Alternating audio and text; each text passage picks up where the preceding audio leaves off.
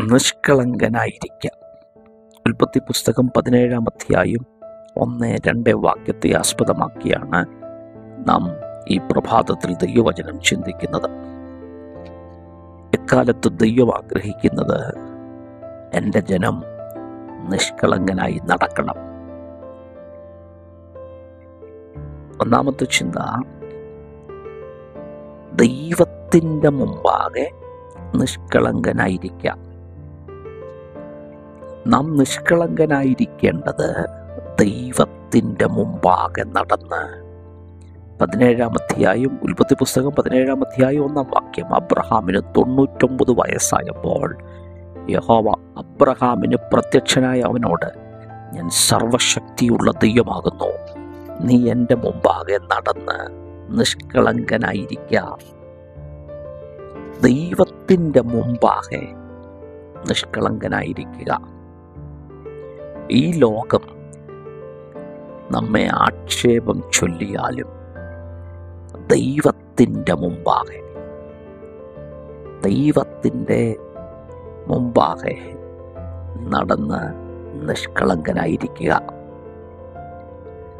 ദൈവത്തിന്റെ സാക്ഷ്യം നാം പ്രാപിക്കുക. നിഷ്കളങ്കനാണ്.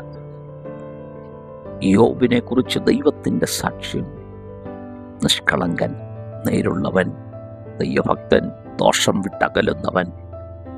ദൈവത്തിന്റെ മുമ്പാകെ നാം നിഷ്കളങ്കനായിരിക്കട്ടെ. എന്തിനാണ് ദൈവത്തിന്റെ മുമ്പാകെ നിഷ്കളങ്കനായിരിക്കേണ്ടത്? രണ്ടാമത്തെ ചിന്ത വാക്തത്വം നിറവേറുന്നതിനായി ദൈവത്തിന്റെ മുമ്പാകെ നിഷ്കളങ്കനായിരിക്കാം. അബ്രഹാമേ അബ്രഹാമിനോട് വർഷങ്ങൾക്ക് മുമ്പ് പറഞ്ഞ ദൈവിക വാക്തത്വങ്ങളുണ്ട്. ആ വാക്തത്വങ്ങൾ നിറവേറാൻ പോവുകയാണ്. അത് നിറവേറേണ്ടതിനായി എന്റെ മുമ്പാകെ നിഷ്കളങ്കനായിരിക്കുക ദൈവം എന്നോടും നിങ്ങളോടും പറഞ്ഞ ചില വാക്തത്വങ്ങൾ കാലങ്ങൾ എത്ര പഴകിയാലും സ്വർഗമത് നിറവേറ്റും. സ്വർഗം നിറവേറ്റും. ആരെല്ലാം എതിര് പറഞ്ഞാലും സത്യതകളെല്ലാം മങ്ങിപ്പോയാലും വാക്തത്വം നിറവേറേണ്ടതിനായി നിഷ്കളങ്കനായിരിക്കുക ദർശനത്തിന്റെ അവധി വച്ചിരിക്കുന്നു. സമാപ്തിയിലേക്ക് ബന്ധപ്പെടുന്നു. അത് വരും നിശ്ചയം അതിനായി തന്നെ കാത്തിരിക്കുക എന്ന വചനം പോലെ. വാക്തത്വങ്ങളുടെ നിറവേറേണ്ടതിനായി കത്തിരിക്കുക കത്തിരിക്കുക. ആരെല്ലാം നിന്റെ വഴികൾ അടച്ചു കളഞ്ഞാലും വാക്ചത്വം നിറവേറാതിരിക്കത്തക്കവണ്ണം ദുഷ്ടപിശാജ് പദ്ധതികൾ നിനക്കെതിരെ ചെയ്താലും പറഞ്ഞാലും പേടിക്കേണ്ട. വാക്തത്വം നിറവേറുന്ന നിറവേറ്റുന്ന ഒരു ദൈവം ജീവിക്കുന്നു. വാക്തത്വം നിറവേറ്റുന്ന ദൈവം സർവശക്തിയുള്ള ദൈവമാണ്. അവൻ സർവവ്യാപിയാണ് സർവജ്ഞാനിയാണ്. ആ ദൈവം നിന്റെ വാക്തത്വങ്ങളെ നിറവേറ്റുവാൻ വേണ്ടി പോകുന്നു. ജീവിതത്തിൽ വാക്തത്വങ്ങൾ കാലപ്പഴക്കമായല്ലോ. എന്നെ മാത്രം ദൈവം മറന്നുപോയല്ലോ.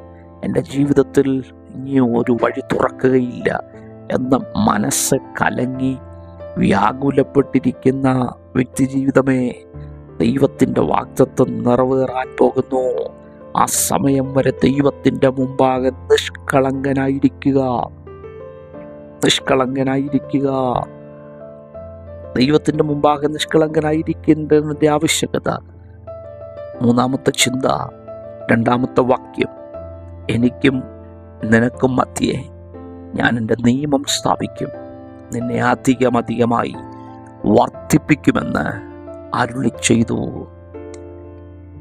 നീ എന്റെ മുമ്പാകെ നിഷ്കളങ്കനായിരുന്നാൽ ഞാൻ നിന്നെ അധികം അധികമായി വർദ്ധിപ്പിക്കുന്ന ദൈവമാണ് ജീവിതത്തിൽ ഇന്ന് പലതും ശൂന്യതയായിരിക്കാം. ഇന്ന് പലതും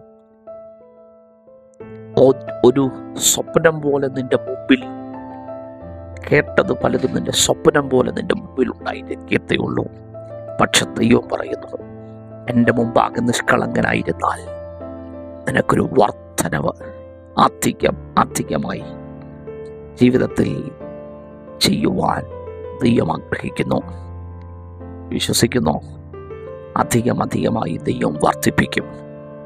ആരെല്ലാം നമ്മെ നമ്മെ ക്ഷീണിപ്പിക്കുവാൻ നോക്കിയാലും അധികം അധികമായി വർദ്ധിപ്പിക്കും. കാരണം ഇന്നലകളിൽ ദൈവത്തിന്റെ മുമ്പാകെ നിഷ്കളങ്കനായി നടന്ന ചിലരെയൊക്കെ ദൈവം വർദ്ധിപ്പിച്ചിട്ടില്ലേ? ദൈവം അത് ചെയ്യുവാൻ ശക്തനാണ്. കർത്താവ് ദൈവത്തിന്റെ മുമ്പാകെ നിഷ്കളങ്കനായി നടന്ന് ഈ ജീവിതയാത്ര മുമ്പോട്ട് നയിപ്പാൻ ഞങ്ങൾക്ക് കൃപ നൽകണമേ. ഇന്നത്തെ ഈ പ്രഭാതം അനുഗ്രഹമാക്കണം. യേശുക്രിസ്തുവിൻ നിസ്തുല്യമായ നാമത്തിൽ തന്നെ. അമേൻ ഗാഡ് ബ്ലസ്